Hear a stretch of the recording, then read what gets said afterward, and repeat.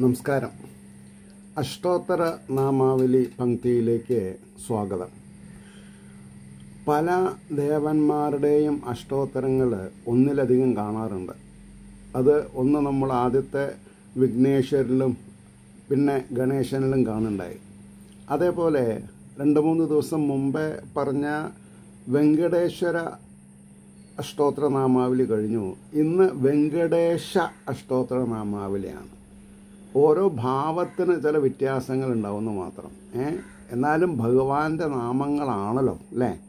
അതുകൊണ്ട് നമ്മൾക്ക് ഇതെന്താന്ന് നോക്കാം. ഓം വെങ്കടേശായ നമ. ഓം ശ്രീനിവാസായ നമ. ഓം ലക്ഷ്മീപതയേ നമ. ഓം അനാമയായ നമ. ഓം അമൃതായ നമ. ഓം ജഗദ്വന്ദ്യായ നമ. ഓം ഗോവിന്ദായ നമ.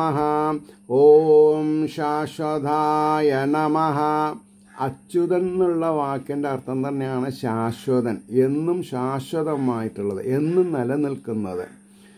ॐ प्रभवे नमः ॐ शेषाद्रिनिलयाय नमः ॐ देवाय नमः ॐ केशवाय नमः ॐ मधुसूदनाय नमः ॐ अमृताय नमः ॐ माधवाय नमः ॐ कृष्णाय नमः ॐ श्रीहरये नमः। ॐ ज्ञानबन्ध्याय नमः। ॐ श्रीवत्सवक्षसे नमः। ॐ सर्वेशाय नमः। ॐ गोपालाय नमः। ॐ पुरुषोत्तमाय नमः। ഓം ഗോപീശ്വരായ നമ. ഗോപികളുടെ ഈശ്വരനായിരിക്കുന്ന അപ്പം ശ്രീകൃഷ്ണൻ ഗുരുവായൂരപ്പൻ മഹാവിഷ്ണു വെങ്കടേശൻ ഇതിനൊന്നും വ്യത്യാസമില്ല. പക്ഷേ ദേശത്തിനും കാലത്തിനും ഭാഷയ്ക്കും വ്യത്യാസമുണ്ട്. പക്ഷേ ഈശ്വര ചൈതന്യം നാമരൂപ വിവർജിത. എല്ലാം ഒന്നാണെന്ന് മനസ്സിലാക്കും വേണം. ഓം പരം ജ്യോതിഷേ നമ. ആ പരം ജ്യോതിഷ എന്ന് പറഞ്ഞാൽ അത് നമ്മുടെ ഉള്ളിലാണ് ഓരോ ജീവജാലങ്ങളുടെയും ഉള്ളിലുള്ള അന്തര്യാമിയായി കൂടസ്ഥനായി സർവജീവഗുഹാശനായിട്ട് വർത്തിക്കുന്ന ചൈതന്യം. അതിന്റെ ഒരു പ്രമാണം പറയണ്ടായി ബാലാഗ്ര ശതഭാഗസ്യ വിസ്തരസ്യ ഏകോ ഓം വൈകുണ്ഠപതയേ നമ. ഓം അവ്യയായ നമ. ഓം സുദാതനവേ നമ. ഓം യാദവേന്ദ്രായ നമ. ശ്രീകൃഷ്ണൻ എന്നുള്ള വാക്കിന്റെ അർത്ഥം തന്നെയാണ്. ഓം നിത്യയൗവനരൂപവതേ നമ. ഓം ചതുർവേദാത്മകായ നമ. ഓം വിഷ്ണുവേ നമ ഓം അച്യുതായ നമ ശ്വാസതായ നമ അതന്നെ അർത്ഥം ഓം പത്മിനി പ്രിയായ നമ ഓം ധരാപതയേ നമ ഓം സുരപതയേ നമ ഓം നിർമ്മലായ നമ ഓം ദേവപൂജിതായ നമ ഇവിടെ ഒരു കാര്യം മനസ്സിലാക്കേണ്ടത് ദേവതകളും ഈശ്വരനും വ്യത്യാസമുണ്ട്. ഈശ്വരൻ എന്ന് പറഞ്ഞാൽ ദി അൾട്ടിമേറ്റ് ചൈതന്യം ആൾമൈറ്റി. ദേവതകളെന്ന് പറഞ്ഞാൽ ദേവന്മാരെ. ഇപ്പോൾ വായുദേവൻ അഗ്നിദേവൻ വരുണദേവൻ ഇവരൊക്കെ നമ്മുടെ ഉള്ളിലുണ്ട് പുറത്തുമുണ്ട്. അപ്പോൾ ദേവപൂജിതായ നമ ദേവന്മാരാൽ പൂജിക്കപ്പെടുന്നവനായി ഓം ചതുർഭുജായ നമ ഓം ചക്രധരായ നമ ഓം ത്രിധാംനേ നമ ഓം ത്രിഗുണാശ്രയായ നമ ഓം നിർവികൽപ്പായ നമ ഓം നിഷ്കളങ്കായ നമ. ഇതിനാണ് നൂറ്റിന് നൂറ്റിപ്പത്ത് മാർക്ക് കൊടുക്കേണ്ടത്. നിഷ്കളങ്കായ നമ. എന്റെയും നിങ്ങളുടെയും മനസ്സ് നിഷ്കളങ്കമാവാത്തോടത്തോളം കാലം ഒരു ചുക്കും നടക്കാൻ പോണില്ല. ഞാൻ വളരെ വിനീതമായി നിങ്ങളോട് ഓരോരുത്തരോടും പറയണം നിഷ്കളങ്കം കളങ്കമില്ലാത്തത്. ഓം നിരാതങ്കായ നമ ഓം നിരഞ്ജനായ നമ ഓം നിരാഭാസായ നമ ഓം നിത്യതൃപ്തായ നമ. അത് അതിനേക്കാൾ നൂറ്റി ഇരുപത് മാർക്ക് കൊടുക്കേണ്ട ഒരു വാക്കാണത്. നിത്യതൃപ്ത. മാമുണ്ണ ഉണ്ടായാലും ഇല്ലെങ്കിലും മനസ്സിന് തൃപ്തി തോന്നണം. എന്താ അങ്ങനെ പറയാൻ കാരണം? ജന്മം ഞാനും നിങ്ങളും ഓരോരുത്തരും ചോദിച്ചു വാങ്ങിയിട്ടുള്ളതാണ്. പൂർവ ജന്മാന്തര പാപ പുണ്യങ്ങൾ അനുഭവിക്കണം എന്നുള്ള ആഗ്രഹം കൊണ്ടാണ് എനിക്കും നിങ്ങൾക്കും ജന്മം കിട്ടിയിട്ടുള്ളത്. അപ്പോൾ നമ്മൾ എന്ത് വേണം?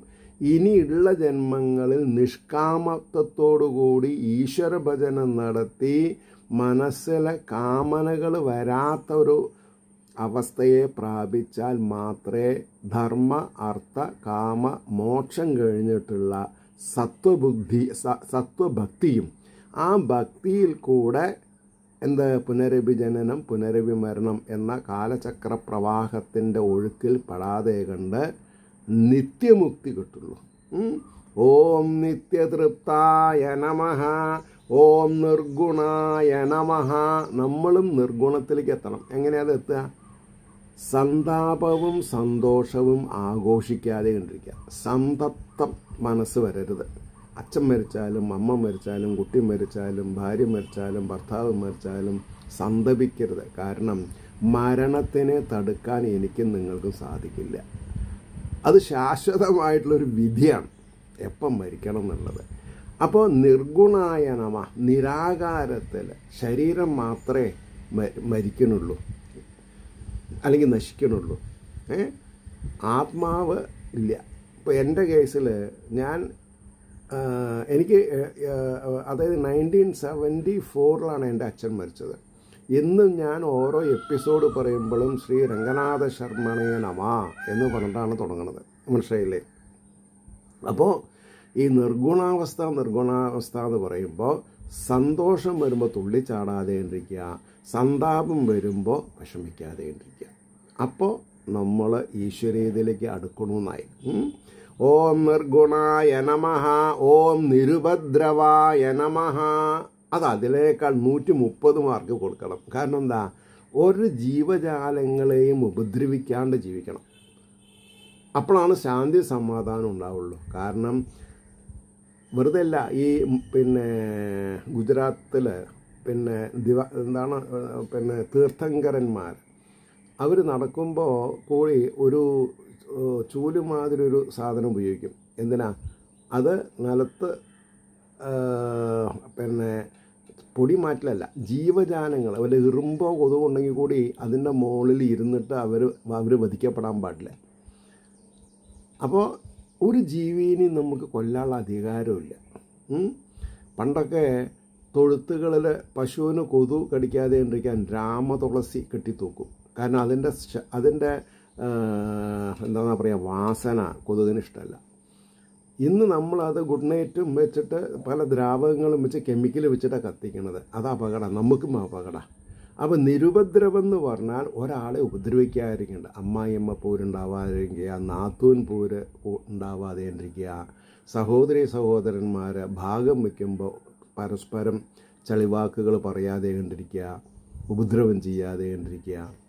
ഓം ഗദാധരായ നമ ഓം ശാർഗപാണയേ നമ ഓം നന്ദകിനേ നമ ഓം ശംഖധരാകായ നമ ഓം ശംഖധാരകായ നമ ഓം അനേകമൂർത്തയേ നമ ഓം അവ്യക്തായ നമ ഈശ്വരൻ അവ്യക്തനാണ് കാരണം എന്താ നിരാകാരനാണ് ॐ कडिहस्ताय नमः ॐ वरप्रदाय नमः ॐ अनेकात्मने नमः ॐ दीनबन्धवे नमः ॐ आर्तलोघभयप्रदाय नमः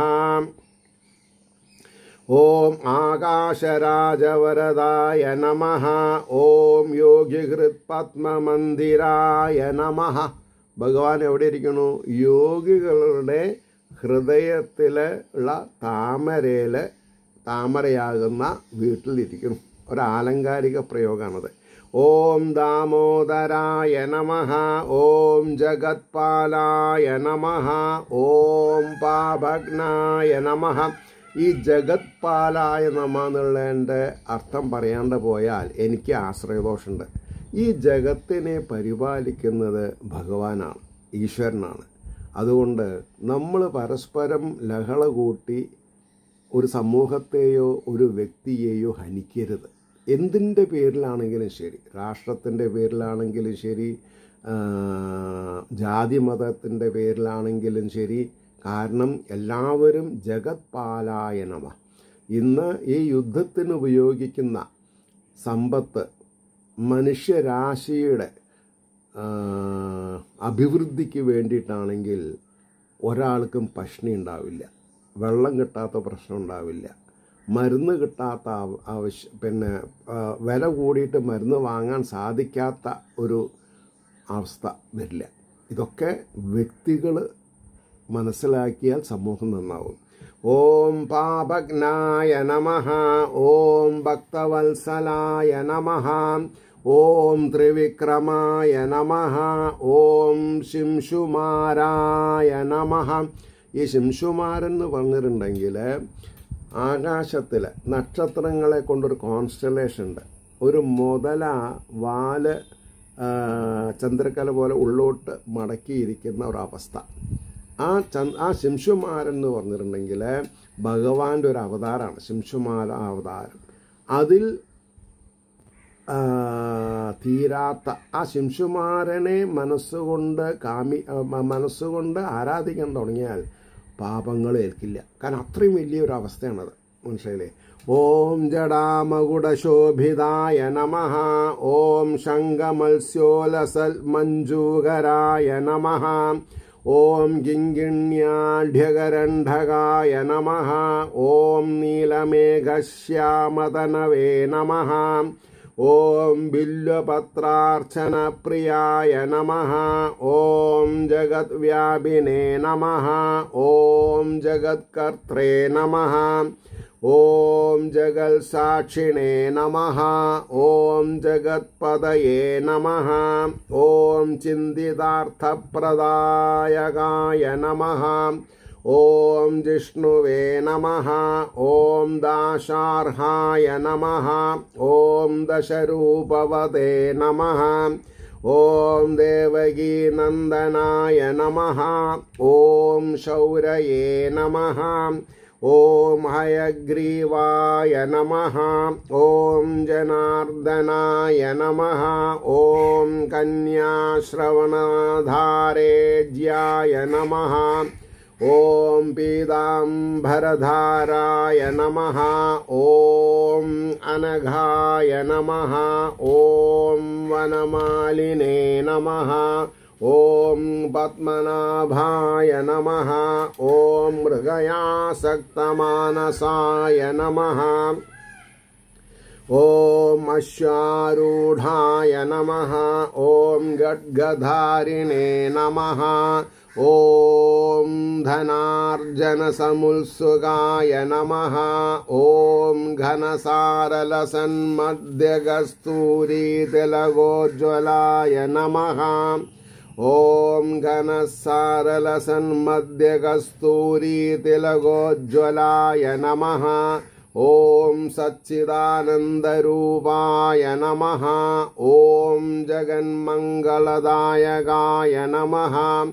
ॐ यज्ञरूपाय नमः। ॐ यज्ञभोक्त्रे नमः। ॐ चिन्मयाय नमः।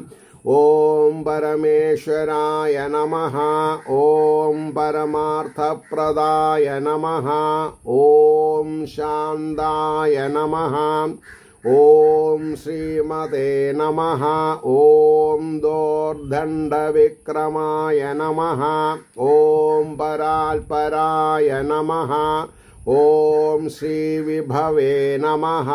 ഓം ജഗദീശ്വരായ നമ. ഈ ജഗത്തിനൊരു ഈശ്വരനുണ്ടെന്നും അത് സർവവ്യാപിയാണെന്നും സർവജ്ഞനാണെന്നും എല്ലാവരുടെയും പാപപുണ്യങ്ങളെ മനസ്സിരുത്തി ജന്മം കൊടുക്കുന്നവനാണെന്നൊക്കെ മനസ്സിലായാൽ നമ്മൾ പരസ്പരം ശണ്ട കൂടില്ല. പരസ്പരം യുദ്ധം ചെയ്യില്ല.